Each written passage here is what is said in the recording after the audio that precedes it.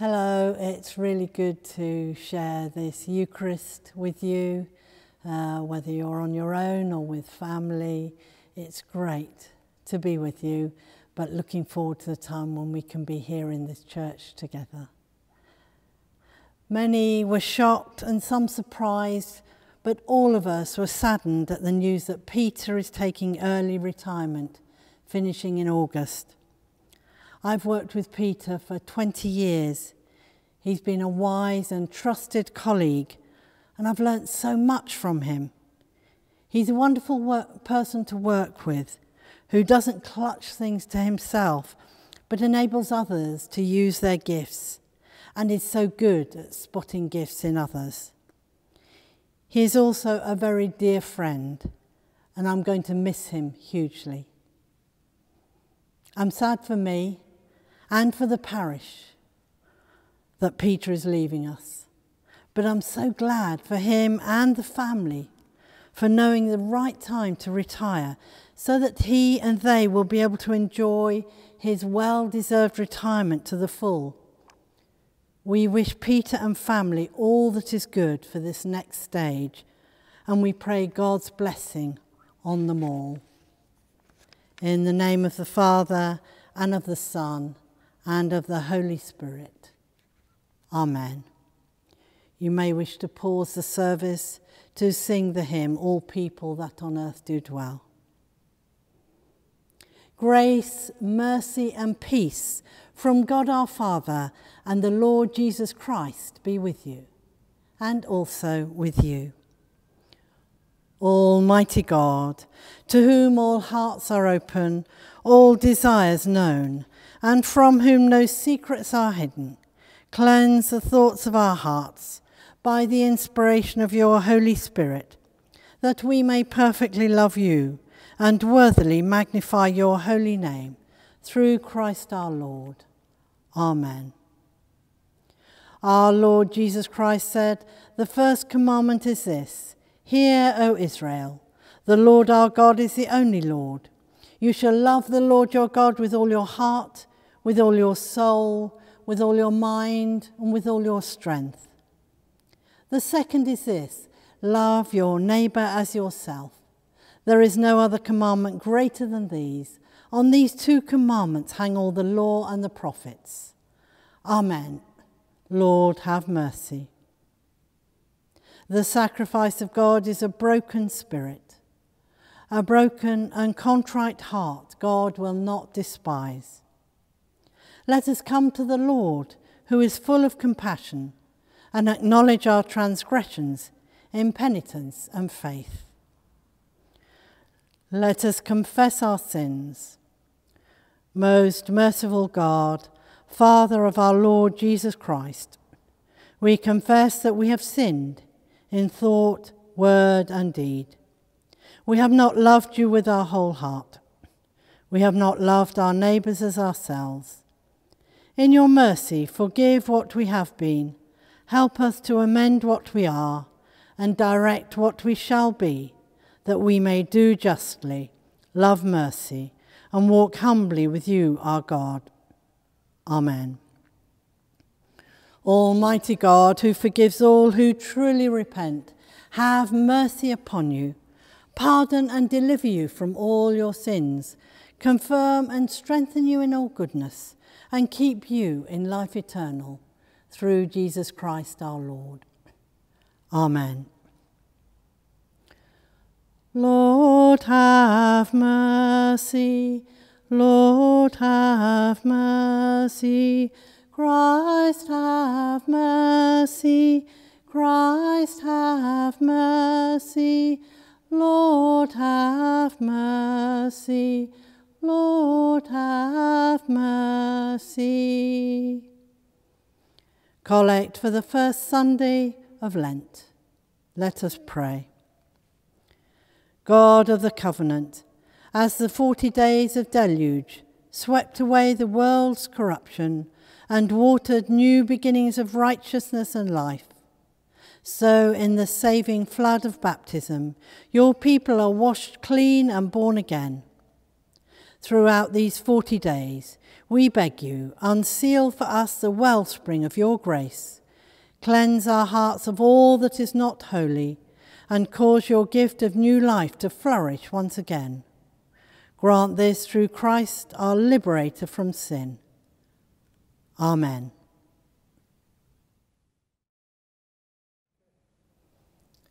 Our first reading is from Genesis chapter 9.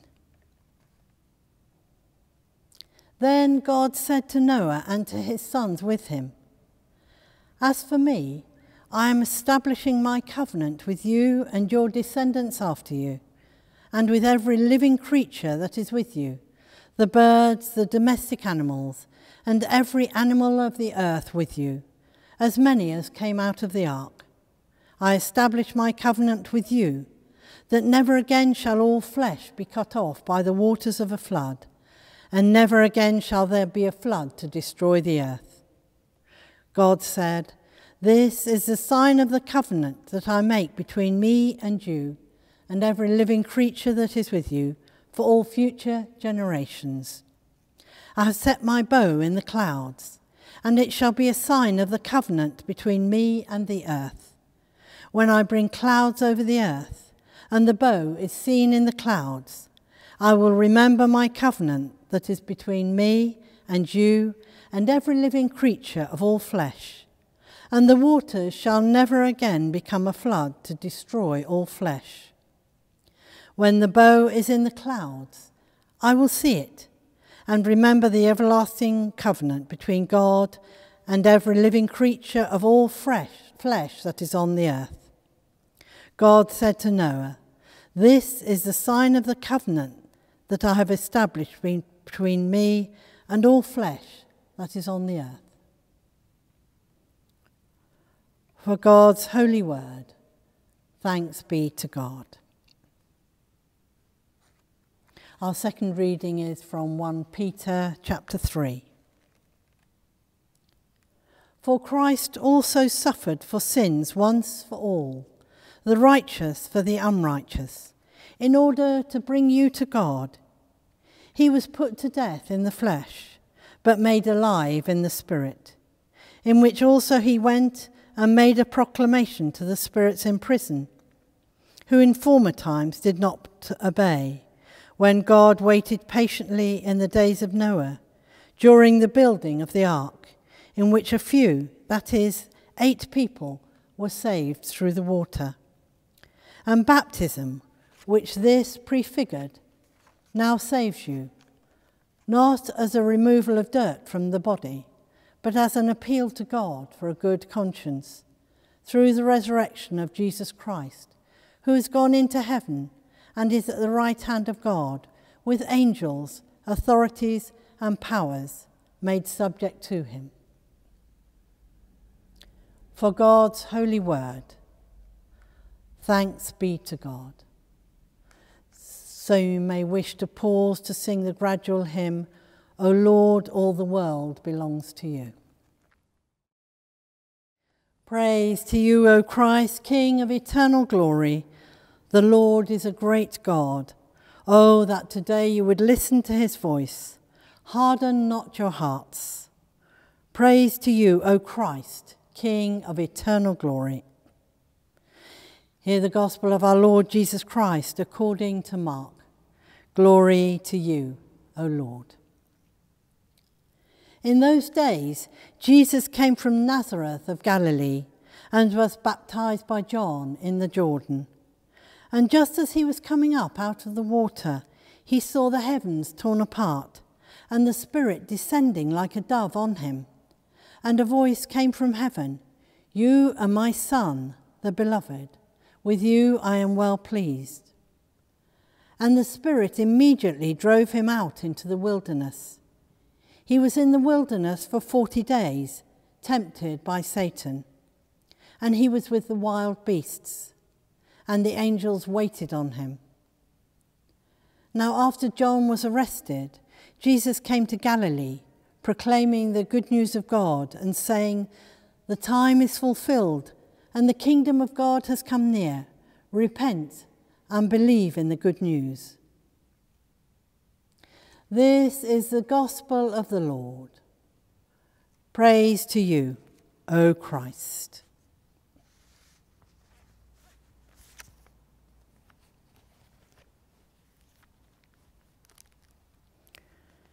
May I speak in the name of the Father, and of the Son, and of the Holy Spirit.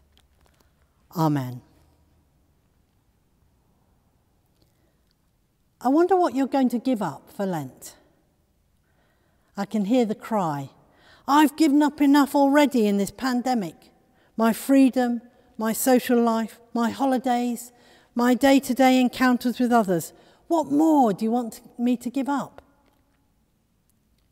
During this Lent, we as a church are encouraged to give up or cut down on meat. This would help the environment in many ways. But the idea of giving something up is not just to help the environment or to lose weight or to give up something we've been trying to give up for months. This time is also about setting aside time for God, being focused on what God wants us to do in our lives, being intentional about our relationship with God. In Mark's Gospel, we're told that after Jesus' baptism, the Spirit immediately drove Jesus into the wilderness. It's typical of Mark's Gospel to be short and fast paced, as if Mark wants to get on with letting people know the important things about Jesus, letting them know about the good news that he has been witnessing. And the Spirit didn't gently lead Jesus into the wilderness, according to Mark. He was driven. I wonder if we feel that, that about the lockdown and the isolation. We didn't choose this. We know it's necessary, but we didn't want it. But we've been driven to it. Perhaps for us, we feel we're in such a place as a desert or a wilderness. We've lost all our markers. We've lost all our certainty about what lies ahead. We've been taken away from everything we knew. This happened to the Israelites in the Old Testament. They wandered through the desert for 40 years, led by Moses, until they reached the promised land. They complained bitterly about all the hardships. Moses complained to God about having to lead these ungrateful people. God provided them with water with manna to eat, and with fire to lead them by night, and a cloud by day. He gave them all that they needed. But it was a time when God's people discovered who they were and who God is. They needed this time to bring them closer to God, more reliant on Him, and more trusting of Him to provide all they needed, preparing them for when they got to the promised land.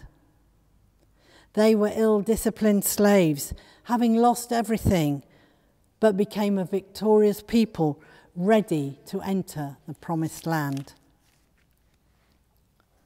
As Jesus went into the wilderness for the 40 days, he too needed to be prepared for his ministry. The first temptation turn these stones into bread tempting Jesus to take care of his own needs, to provide his own food miraculously, rather than trusting God to supply his needs. The second, to throw himself off a high mountain and prove that God would save him. But Jesus refused to put God to the test. The third was the temptation to follow the ways of the world rather than God's ways but Jesus' response was to quote, Thou shalt worship the Lord thy God, and him only shalt thou serve.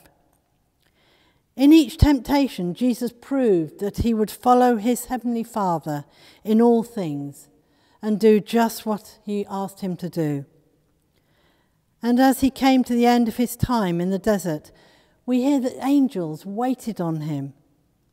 A wonderful picture of God sending his messengers to take care of his only son, who'd been through so much, but came out victorious and ready for the work that he came to do and the salvation that he came to bring us all. Also, some other people who went into the desert were the desert fathers alongside desert mothers. They were early Christian hermits and monks who lived in the desert of Egypt around the 3rd century AD. They, however, were not driven into the desert, but felt that they were called by God to give up all and live a solitary, simple life devoted to God and to prayer. We thank God for these people and their prayers and for their writings of deep spiritual significance that we still have today. So for us, perhaps we can feel driven rather than called into the wilderness that we are in at the moment, and then coming into this Lenten time of 40 days. First, we must embrace pain and loss that we felt and acknowledge all the suffering we've been through in this time already. Then we must look at what God is forming in us and what He's preparing us for as we see signs of coming out of lockdown. I heard a speaker likening God's work with us through this time to the angiogram he'd just had. He described it as an investigation into his heart. And he said that God is doing this to us at this time, seeing what is in our hearts. What might God have been doing in all this pain and suffering? What might he have been creating in us over this time? And what more in these 40 days of Lent? When the Israelites were preparing to go into the promised land, Moses said to them, When you have eaten and are satisfied, praise the Lord your God for the good land he's given you. Be careful that you do not forget the Lord your God, failing to observe his commands, his laws, and his decrees that I am giving you today. For us, as we allow God to work in our hearts, as we go through Lent, and see the end of lockdown coming, let's not forget what God has been showing us during this time. And let us take the valuable things we've learnt into the new future we have for ourselves, for this church, and for the world. And remind ourselves that this will not just be recovery, not back to old ways, but transformation and a quote from Evagrius, a desert father, who said, Cut the desire for many things out of your heart, and so prevent your mind being dispersed and your stillness lost. Something for us to take into this Lenten time. Amen.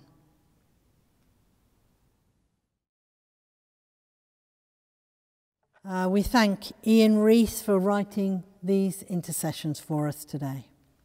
So let us pray for the church and for the world, and let us thank God for God's goodness. As we meet together at the start of another Lent, either on our own or with others, we thank God for bringing us to this day and pray that He will hear the prayers we offer for ourselves and others. We pray for peace throughout the world, for the leaders especially in areas of warfare or other disasters. Lord, give them strength in our hearts to put hostilities aside and in true humility seek peace with one another. Lord of compassion, hear our prayer. We pray for the leaders of our country as they strive to bring about a safe exit from the current COVID restrictions. Give them wisdom to do what is right and safe. And we pray that everyone will play their part as we learn to live with the virus. We give thanks for the NHS staff and volunteers as they continue the mass vaccination programme. And we pray for the medical teams who look after those with the virus with such love and care. Lord of compassion, hear our prayer. We pray for the church throughout the world and for this parish, particularly for Peter as he and his family prepare for his retirement. We pray for Mary and Liz, our church wardens and PCC members, and all who lead our churches. And we give thanks for all who make our filmed services possible. Lord of compassion, hear our prayer. Lord of compassion, we pray for all who are ill, especially those on their own who are, or who are struggling to cope. We hold before you Bob and Elizabeth, Lauren, Philippa, Margaret, Grace, Steph, Tom, Vittorio, Patricia, Caroline, William, Vera, Jean, Julia, Kate, Jane, Brett, Vera, and David. Lord of compassion, hear our prayer. We pray for those who have died recently and for their families and friends. We thank you for their lives and all they meant to us, and give thanks that they are now at peace with you. Lord of compassion, hear our prayer. We pray for the coming week, the decisions to be made, the friendships to be enjoyed, the pains to endure, and the unexpected to delight in, know that, knowing that in everything you are there with us. O you who are ever giving life to all life, moving all creatures, root of all things, washing them clean, wiping out their mistakes, healing their wounds. You are our true life, luminous, wonderful, awakening the heart from its ancient sleep. Merciful Father, accept these prayers for the sake of your Son, our Saviour, Jesus Christ. Amen.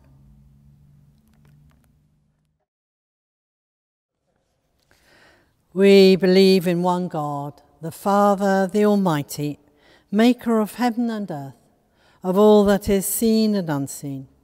We believe in one Lord Jesus Christ, the only Son of God, eternally begotten of the Father, God from God, light from light, true God from true God, begotten, not made, of one being with the Father. Through him all things were made. For us and for our salvation, he came down from heaven, was incarnate from the Holy Spirit and the Virgin Mary, and was made man. For our sake, he was crucified under Pontius Pilate. He suffered death and was buried. On the third day, he rose again in accordance with the Scriptures. He ascended into heaven and is seated at the right hand of the Father. He will come again in glory to judge the living and the dead and his kingdom will have no end. We believe in the Holy Spirit, the Lord, the giver of life, who proceeds from the Father and the Son, who with the Father and the Son is worshipped and glorified, who has, been, has spoken through the prophets. We believe in one holy, Catholic, and Apostolic Church. We acknowledge one baptism for the forgiveness of sins. We look for the resurrection of the dead and the life of the world to come. Amen.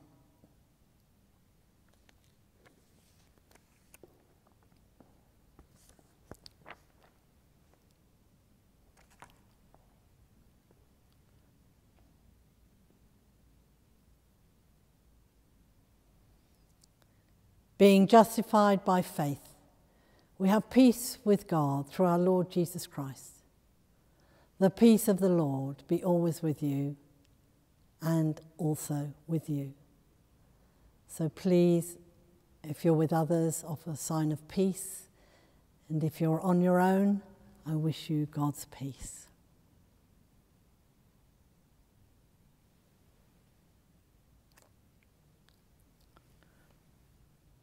Please do uh, pause to sing the offertory hymn if you wish.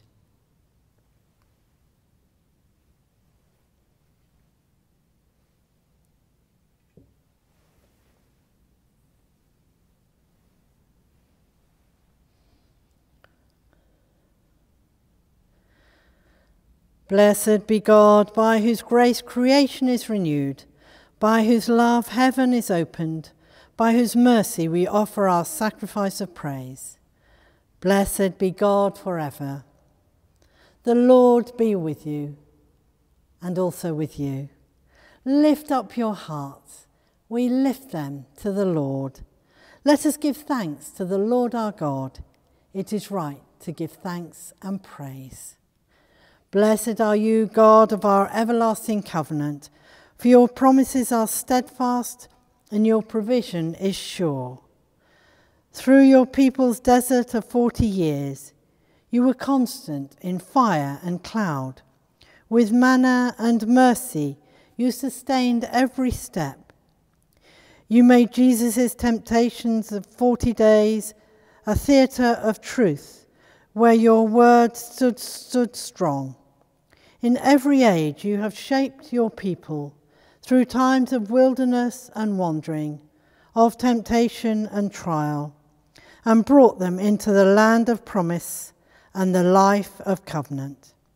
And so with all who have walked the wilderness way in every time, and all who walk it this day, with angels and archangels, and all the company of heaven, we join the unending hymn Holy, holy, holy Lord, God of power and might. Heaven and earth are full of your glory. Hosanna in the highest. Blessed is he who comes in the name of the Lord. Hosanna in the highest. Enduring God, as you sustain Jesus in hunger and thirst, through this meal, strengthen us to keep our Lenten feast Send your Holy Spirit upon us as we remember Jesus' saving passion.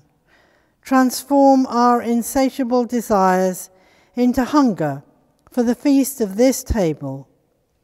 Send your Holy Spirit upon this bread and wine, that they may be for us the body and blood of Christ, who at supper with his disciples took bread gave you thanks, broke the bread, and gave it to them, saying, Take, eat. This is my body, which is given for you. Do this in remembrance of me.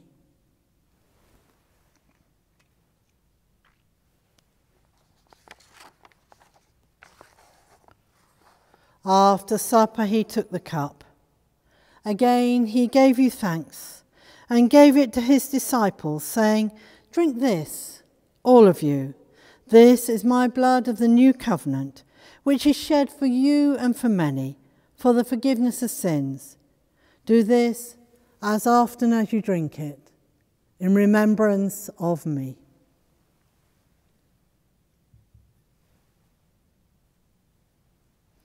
Great is the mystery of faith.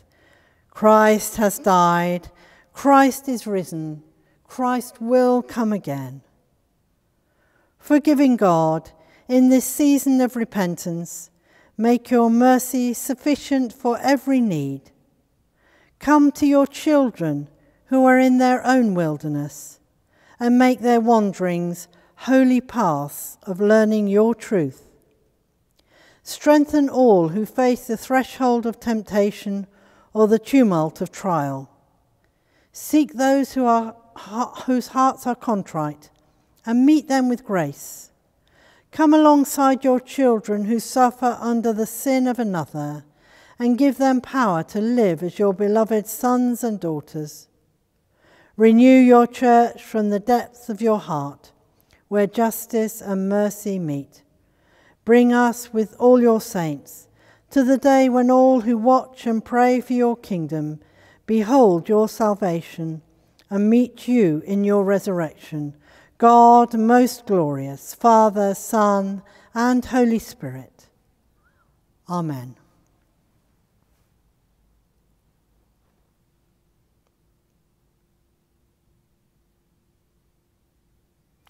Lord, we thank you for your continued presence with us.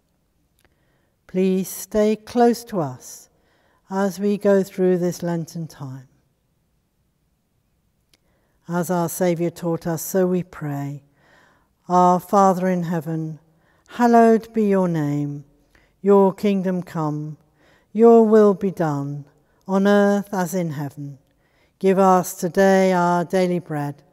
Forgive us our sins, as we forgive those who sin against us. Lead us not into temptation, but deliver us from evil. For the kingdom, the power, and the glory are yours, now and forever. Amen.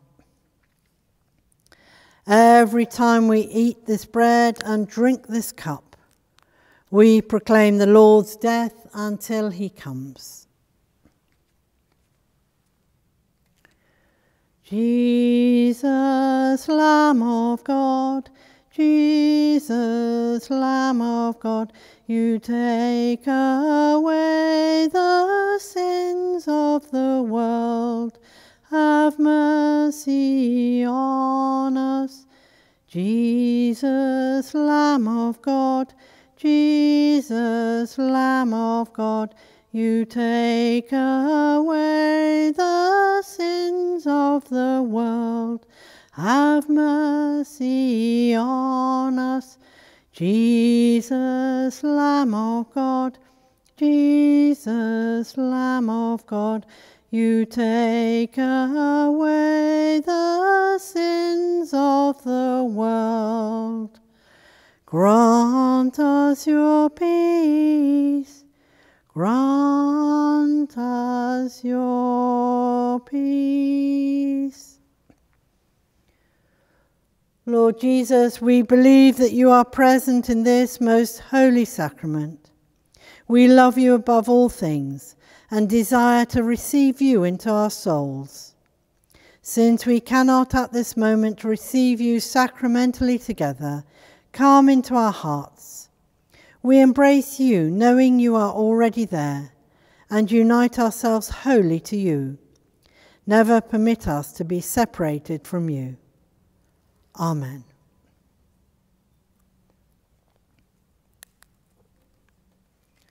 The body of Christ given for us all.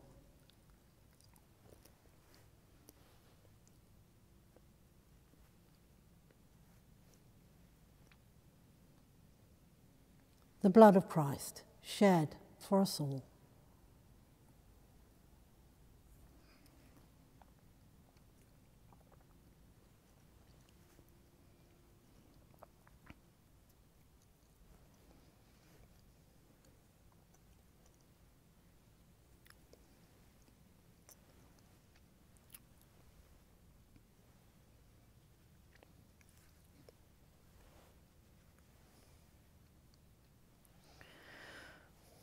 Let us pray. Lord God, you have renewed us with the living bread from heaven. By it you nourish our faith, increase our hope, and strengthen our love. Teach us always to hunger for him who is the true and living bread, and enable us to live by every word that proceeds from out of your mouth through Jesus Christ our Lord. Amen. Father of all, we give you thanks and praise that when we were still far off, you met us in your Son and brought us home. Dying and living, he declared your love, gave us grace, and opened the gate of glory. May we who share Christ's body live his risen life we who drink this cup bring life to others. We whom the Spirit lights give light to the world.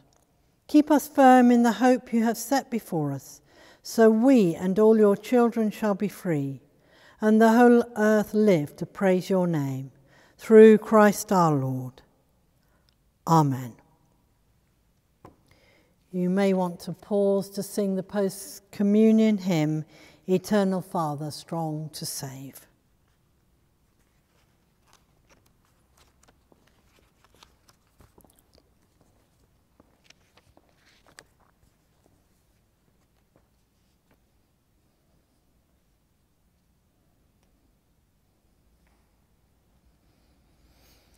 Christ, give you grace to grow in holiness to deny yourselves, take up your cross, and follow him. And the blessing of God Almighty, the Father, the Son, and the Holy Spirit be among you and remain with you always. Amen. Stay in the peace of Christ. Thanks be to God.